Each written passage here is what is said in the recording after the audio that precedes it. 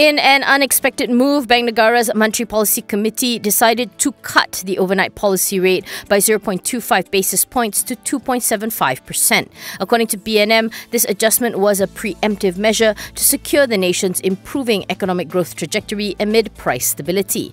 Earlier, all but one of 14 economists polled by Reuters had expected BNM to keep its benchmark interest rate unchanged, possibly saving its ammunition for use during a possible slowdown in economic growth later in the year. The central bank notes that the global economy continues to expand at a moderate pace, with the latest indicators and recent easing of trade tensions pointing to improving global activity. However, downside risks continue to weigh on the global economy, stemming from geopolitical tensions and policy uncertainties, which BNM says could cause a resurgence of financial market volatility. For the Malaysian economy, commodity sector issues, among others, point to moderate economic expansion in the fourth quarter. For 2019, growth numbers are projected to fall within expectations, while 2020's growth scenario is expected to show gradual improvement.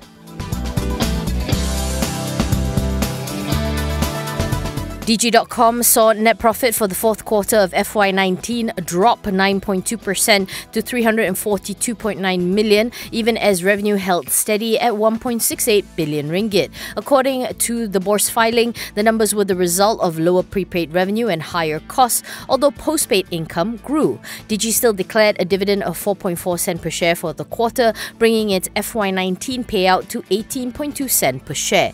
As for its full year report card, net profit came came in 7% lower at 1.4 billion, while top line also dropped by 3.5% from 6.5 to 6.3 billion ringgit. In its filing, the telco said that in FY19, it had demonstrated service revenue resilience and disciplined focus in driving sustainable growth and profitable operations with solid organic postpaid revenue growth of 11.9% and internet and digital revenue of 11%. For 2020, Digi says it will continue to focus on structural operational efficiencies and investing in what matters. It expects flat to slow single digit decline in service revenue and EBITDA, while its capex spend will remain similar to what was spent in FY19.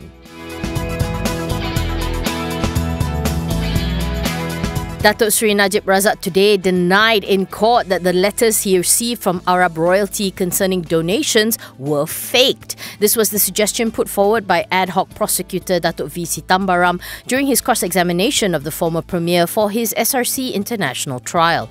Najib said that he believed all the monies he spent from his AmBank account between 2011 and 2015 originated from donations. Sithambaram cited the purported donation letters and pointed out that they were photocopied copies and that no original copies were available, although Najib said he once had the original copies. Najib also divulged in court today that while he had asked former Treasury Secretary Tan Sri Dr. Wan Abdul Aziz Wan Abdullah to expedite the first 2 billion ringgit loan from KWAP to SRC, it was not an order. Instead, he blamed the pension fund, saying it was up to KWAP's investment panel to decide and that it was not his decision. Sithambaram countered with the suggestion that Wan Abdul Aziz was bound to consider Najib's request due to the position he held.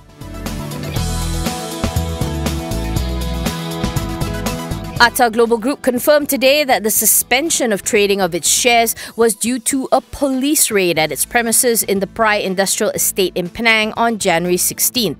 According to a Bursa Malaysia filing, the police raided the premises tenanted by a third party in relation to a drug probe. It added that the police investigation would substantially affect the company financially and operationally. To recap, the Securities Commission had ordered the suspension of trading in Atta and Heng Huat Resources Group on January 16.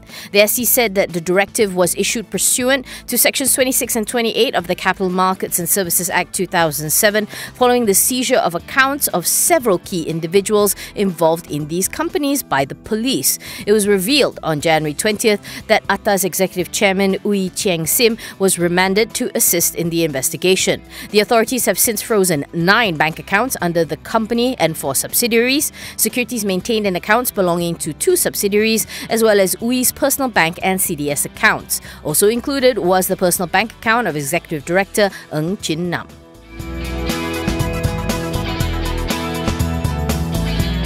New Ace Market debutant Powerwell Holdings saw its share price jump 20% to 30 cent in early morning on investors' optimism on the company's outlook. Powerwell's core business is the manufacturing of electric switchboards and switchgears. Powerwell was Bursa Malaysia's most actively traded stock today, with over 304 million shares traded. It traded at an average of 28.2 cent throughout the day before closing 14% up at 28.5 cent.